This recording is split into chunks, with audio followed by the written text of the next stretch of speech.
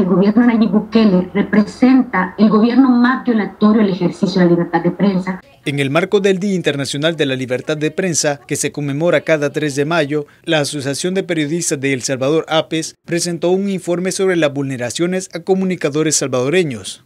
Los datos generados por el Centro de Monitoreo de Agresiones a Periodistas de la APES indican que el número de afectaciones a la prensa aumentó, al pasar de 125 en el año 2020 a 219 en el año 2021. Y en los primeros cuatro meses de este año ya se registran 39 casos, entre los que es necesario señalar la aparición de otros fenómenos preocupantes como el desplazamiento forzado de periodistas a raíz de persecución, el informe consta de tres partes en las cuales se analizan los diversos casos de agresiones a periodistas desde el año 2004, haciendo mayor énfasis en la implementación de nuevas tecnologías para generar los ataques de odio y acoso.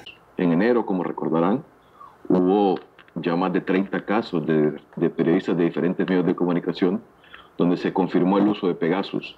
Ahora mismo, después de recibir la semana pasada nuevas alertas por posibles eh, infecciones, tenemos al menos otros seis nuevos casos. El gobierno actual usa las instituciones del Estado para perseguir a quienes disienten de su narrativa. El informe destaca que la prensa nunca ha sido de agrado para los gobiernos, pero que en la actualidad también se está afectando a la sociedad salvadoreña y democracia, al no fomentar la libertad que los ciudadanos tienen de estar informados. En el marco del régimen de excepción, para poder seguir informando a la población sobre lo que está ocurriendo en el fenómeno de pandillas, algunos colegas están teniendo que hacerlo desde fuera del país o a través de medios internacionales, tal como ocurría en tiempos de la guerra. Informó para la prensa gráfica.com Faustino Sánchez.